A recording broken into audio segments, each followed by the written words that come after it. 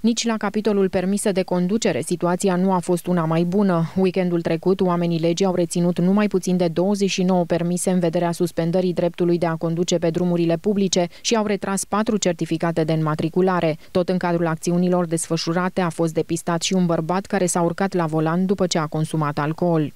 La data de 28 mai anul curent, ora 23.52, polițiștii din cadrul Poliției Municipiului Alexandria au depistat un bărbat de 38 de ani din comuna Brânceni, județul Telorman, în timp ce conducea o auto-utilitară în municipiu, deși se afla sub influența băuturilor alcoolice și fără a poseda permis de conducere pentru nicio categorie de vehicule.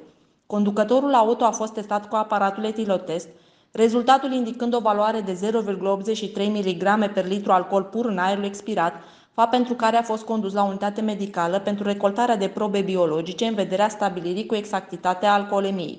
Bărbatul s-a ales cu dosar penal pentru conducerea unui vehicul sub influența băuturilor alcoolice, urmând ca parchetul competent să dea o soluție în acest caz.